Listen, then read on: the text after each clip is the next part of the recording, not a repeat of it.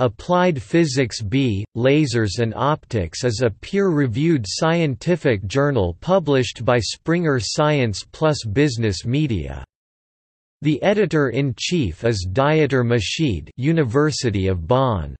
Topical coverage includes laser physics, optical and laser materials, linear optics, nonlinear optics, quantum optics, and photonic devices. Interest also includes laser spectroscopy pertaining to atoms, molecules, and clusters. The journal publishes original research articles, invited reviews, and rapid communications.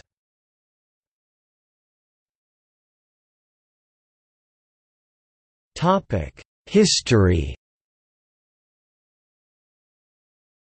The journal is a continuation of Applied Physics B, Photophysics and Laser Chemistry ISSN 0721-7269, in existence from September 1981 Volume B, 26 number 1 to December 1993 Volume B, 57 number 6.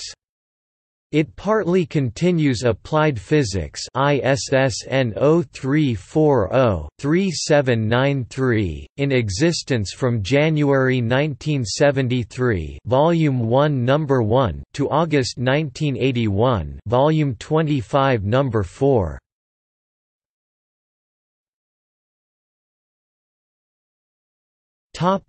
Abstracting and indexing The journal is abstracted and indexed in